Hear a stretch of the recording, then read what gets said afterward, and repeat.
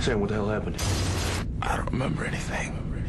The mind can be subject to a temporary loss of memory known as a blackout. Sam's just gone. Any chance you've heard from him? Losing my mind here. During a blackout, an individual is not in control or aware of their actions.